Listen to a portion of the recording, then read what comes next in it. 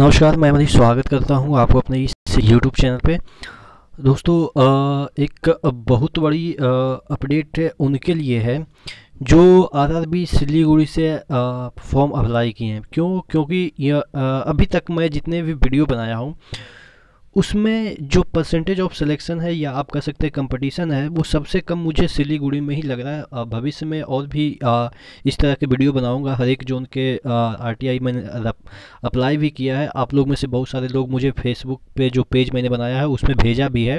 तो अगर आप फेसबुक पेज पे नहीं जुड़े हैं तो उसका आ, जो लिंक है वो मैं डिस्क्रिप्सन बॉक्स में भी दे दूँगा और कमेंट बॉक्स में भी दे दूँगा पिन कर दूँगा तो वहाँ से आप जुड़ सकते हैं और इस तरह के जो चीज़ें हैं वहाँ पर मैं शेयर करता रहता हूँ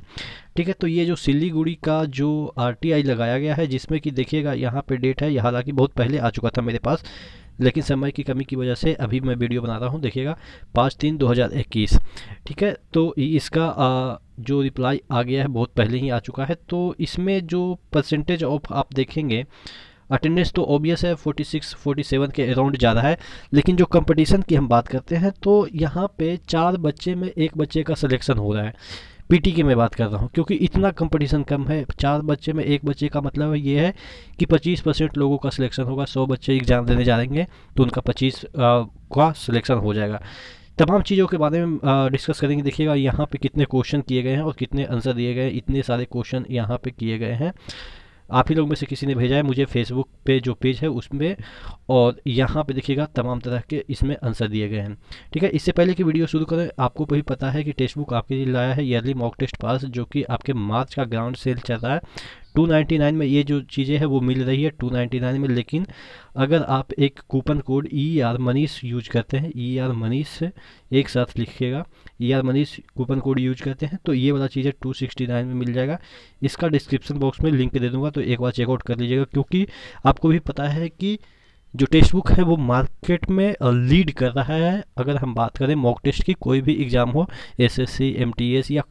जो भी डीआरडीओ हो या रेलवे हो कोई भी एग्ज़ाम के लिए यहाँ पे सभी के लिए अलग अलग से मॉक टेस्ट इसी पैकेज में मिल जाएगा 269 में मिल जाएगा आप एक बार इसको चेकआउट कर लीजिएगा बात कर रहे थे इस आर के बारे में तो देखिएगा ये जो लगाया गया था सिलीगुड़ी बोर्ड में लगाया गया था यहाँ पर क्वेश्चन क्या क्या है ये अपन देख लेते हैं देखिएगा kindly furnish the following detail with regard to C E N zero one 2019 RRB NTPC examination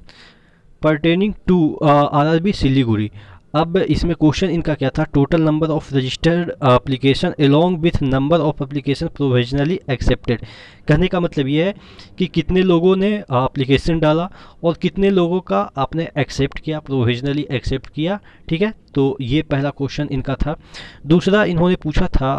post wise segregation for total number of registered and provisionally accepted application यानी कि uh, कौन से पोस्ट के लिए कितना अप्लीकेशन डाले गए हैं बहुत सारे पोस्ट हैं तो उसके अकॉर्डिंग इन्होंने डेटा मांगा था और उसमें कितना लोगों का एक्सेप्ट हुआ ये चीज़ें इन्होंने पूछी थी दूसरा तीसरा इन्होंने क्वेश्चन किया था या क्वेरी इनका था category wise U R S C S T O B C E W S aggregation for total number of registered and provisionally accepted application कहने का मतलब ये है कि इन्होंने तीसरा आ, मांगा डेटा कि आपने जो आपको कितने application U R S C S T O B C और ई डब्ल्यू एस कैटेगरी के अलग अलग आ, आए और आप लोग ने कितना इसमें से एक्सेप्ट किया ठीक है उसके बाद total attendance of candidate up to completion of fourth phase of examination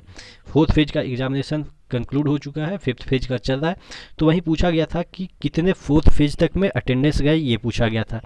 जो तमाम तरह के क्वेश्चन रहते हैं उसके बाद total number of candidates remaining in fifth and six phase इन्होंने खुद एज्यूम कर दिया कि सिक्स फेज तक जाएगा और इन्होंने पूछा कि फिफ्थ और सिक्स फेज के लिए कितने नंबर ऑफ स्टूडेंट है ठीक है डॉक्यूमेंट यहाँ पर देखिएगा डॉक्यूमेंट इन्होंने कुछ लगाया नहीं था उसके बाद यहाँ पे देखिएगा पाँच तीन 2021 को इनका स्टेटस डिस्पोज कर दिया गया और एक्शन ले लिया गया पाँच तीन दो हज़ार इक्कीस को ठीक है अब इसमें देखिएगा रिप्लाई क्या आया रिप्लाई है total number of applied candidates बहत्तर हज़ार आठ सौ छियालीस ठीक है यहाँ पे देखिएगा लाख में भी नहीं है बहत्तर हज़ार है टोटल कितने यहाँ पे फॉर्म है साढ़े चार सौ चार सौ छियालीस समथिंग यानी कि साढ़े चार सौ आप मान के चलो कि साढ़े चार सौ यहाँ पे आ, टोटल आप कह सकते हैं वैकेंसी है नंबर ऑफ एक्सेप्ट जो एप्लीकेशन है वो एक्सेप्टेड कितना है बहत्तर हज़ार पाँच सौ उनसठ है यानी कि कहने का मतलब ये है कि यहाँ पे तकरीबन 300 लोगों का 300 लोगों से थोड़ा सा कम 300 लोगों का फॉर्म रिजेक्ट कर दिया गया है तो आप मान के चलो कि उतना आ, मतलब कि नंबर में तो इनका आ, जो फॉर्म है वो रिजेक्ट नहीं किया गया है बहत्तर में बहत्तर लोगों का फॉर्म एक्सेप्ट हो गया यानी कि मैक्सिमम मैक्सिमम क्या लगभग सभी का ही हो गया है लेकिन जो ज़्यादा मिस्टेक कर दिए हैं उनका फॉर्म रिजेक्ट हो गया है या आप कह सकते हैं कि बहुत सारे चीज़ें होती है ना कि दो दो जगह से फॉर्म भर देते हैं तो फॉर्म रिजेक्ट हो जाता है क्योंकि आपको भी पता है कि ज़्यादा स्मार्ट बनना अब के युग में थोड़ा सा आ, मतलब कि दिक्कत हो जाती है पहले के ज़माने में चल जाते थे दो दो सर्टिफिकेट एक बंदे का होता था इवन तीन तीन सर्टिफिकेट चलता था और तीनों पे नौकरी करते थे अभी हाल ही फ़िलहाल में शायद यूपी में पकड़ा है एक बंदी शायद थी वो सत्रह सर्टिफिकेट पे जॉब कर रही थी बताओ भाई तो ऐसे पहले होता था अभी नहीं होता है तो कहने का मतलब ये है कि यहाँ पे फॉर्म कम रिजेक्ट किए गए हैं सेकंड में इनका आंसर था at present post wise details are not available यानी कि पोस्ट वाइज कितने लोगों का इन्होंने फॉर्म एक्सेप्ट किया है ये इन्होंने सॉरी पोस्ट वाइज यहाँ पे सेकंड क्वेश्चन क्या था post wise aggregation of total number of registered and provisionally accepted application का इन्होंने डिटेल नहीं दिया है ठीक है टोटल एक्सेप्टेड एप्लीकेशन कितना है यहाँ पे देखिएगा फिर से यहाँ पे बहत्तर हज़ार पाँच सौ उनसठ है यू आर में कितना एक्सेप्ट हुआ है सत्रह हज़ार तीन सौ दो एस सी में हुआ है इक्कीस हज़ार तीन सौ एस टी में हुआ है छः हज़ार एक सौ यहाँ पे देखिएगा छः हज़ार एक सौ बाईस और O B C creamy layer में ठीक है क्रीमी लेयर जिसको कि आप कह सकते हैं कि आरक्षण नहीं मिलता है एक हज़ार नब्बे और O B C non creamy layer में काफ़ी मात्रा में है कितना चौबीस हज़ार आठ सौ छियासी और ई डब्ल्यू एस में सबसे कम है यानी कि अगर आप ई डब्ल्यू एस का सर्टिफिकेट रखते हैं तो आपका सिलेक्शन इसमें लगभग गारंटेड है थोड़ा बहुत भी पढ़ते हैं तो क्योंकि सबसे कम आप देखेंगे कि यहाँ पे एक हज़ार आठ सौ उनसठ ही है ठीक है तो 10 परसेंट मायने रखता है क्योंकि 10 परसेंट जितने भी आप यानी कि आपके लिए मिनिमम 40 जो सीट है वो तो पक्का ही है उसके बाद आप जनरल में भी फाइट कर सकते हैं तो आप समझ सकते हैं कि आपके लिए थोड़ा सा अपॉर्चुनिटी ज़्यादा बढ़ जाती है ठीक है उसके बाद इन्होंने फोर्थ और फिफ्थ पेज का यहाँ पे देखिएगा यहाँ पे fourth and fifth present information can not be provided at the recruitment examination of C E N zero one two thousand nineteen is going on तो यानी कि इन्होंने डेटा नहीं दिया है कि कितना लगभग यहाँ पे मतलब कि फिफ्थ और सिक्स फेज के लिए अभी बचे हुए हैं ठीक है क्योंकि फोर्थ और फिफ्थ फेज के जो अभी सिनेरियो है वो मतलब कि एग्जामिनेशन चल रहा है इसकी वजह से जो जो इन्होंने पूछा था कि फिफ्थ और सिक्स फेज में कितने लोग अभी बचे हुए हैं तो टोटल कहने का मतलब ये है अब इसका परसेंटेज निकाल लेते हैं कि इतना बच्चे इतना बच्चे बहत्तर हज़ार अब बहत्तर हज़ार में हम बात करें तो अराउंड छत्तीस या पैंतीस हज़ार के अराउंड प्रजेंट होंगे क्योंकि पचास परसेंट से नीचे ही प्रजेंट हो रहे हैं और वैकेंसी कितनी है साढ़े चार हज़ार यानी कि अगर हम इसको चौवाल चार पाँच यानी कि नौ हज़ार के तकरीबन इसमें सिलेक्शन होगा सॉरी साढ़े चार सौ तो नौ हज़ार यानी कि इसके ट्वेंटी गुना सिलेक्शन होगा पीटी में तो नौ हज़ार और उसके बाद नीचे बहत्तर से हम बहत्तर हज़ार सॉरी छत्तीस हज़ार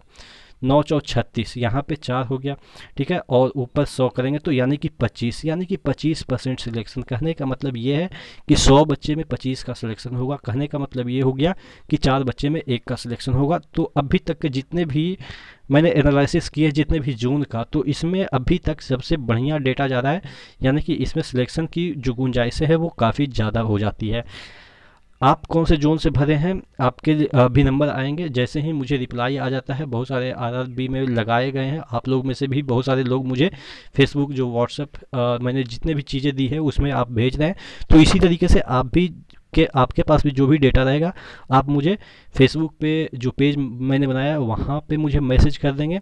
या व्हाट्सअप जो मैंने दिया है वहाँ पे मैसेज कर देंगे आ, नीचे कमेंट बॉक्स में मैं आपको फेसबुक का लिंक दे दूंगा ठीक है तो इसी तरह से बने रहिएगा एक बार फिर से रिमाइंड कर दें कि टेक्स्ट बुक आपके लिए लाया है ईयरली मॉक टेस्ट पास जिसका कि डिस्क्रिप्शन बॉक्स में मैं लिंक दे दूंगा ठीक है वो चीज़ें आपको टू सिक्सटी नाइन में मिल जाएगा ई आर इस कूपन कोड यूज करते हैं तो नेक्स्ट वीडियो मिलते हैं तब तक के लिए धन्यवाद